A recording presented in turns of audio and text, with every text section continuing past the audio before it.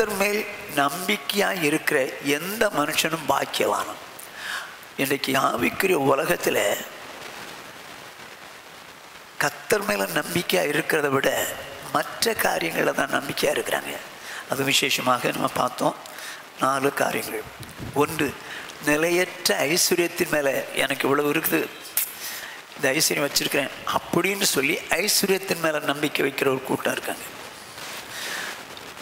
பொண்ணு இருக்குது தங்கம் இருக்குது. அதுக்கு மேலே ஒரு நம்பிக்கை அது எனக்கு ஆதரவுன்னு சொல்லி அதன் மேலே நம்பிக்கை வைக்கிற கூட்டம் ஒன்று இருக்கு. கொடுமையின் மேல் நம்பிக்கை. கொடுமை என்னன்னா அராஜகம் அராஜகம். அதன் மேலே எனக்கு பலம் இருக்குது. நான் என்ன வேணாலும் செய்வேன் அப்படின்னு சொல்லி அதன் மேலே நம்பிக்கை வைக்கிற கூட்டம். நான்காவதாக பிரபுக்களை மனுஷனை நம்புகிற கூட்டம். இதெல்லாம் நம்பக்கூடாதவைகள். இவர்களிடத்திலிருந்து தேவன் தயவு கொடுக்க வல்லவர். இவங்கள்ட்ட தயவு பெறலாமே தவிர இவங்களை நம்பி இவங்களால் தான் எல்லாம் முடியும்னு அவங்கள சார்ந்து ஜெயிப்போமானா அது தேவனுக்கு பிரியமாக இருக்க முடியாது.